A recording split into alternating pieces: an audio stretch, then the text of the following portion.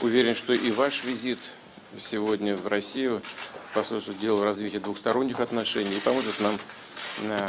лучше понять, какими путями мы можем урегулировать ситуацию на Корейском полуострове, что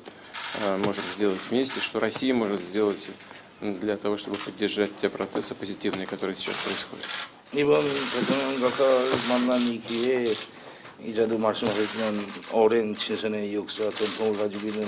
두 나라 관계를 보다 더 공고하고 건전하고 발전적으로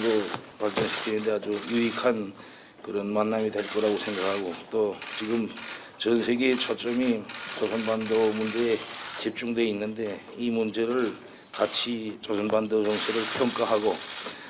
서로 견해를 공유하고 또 앞으로 공동으로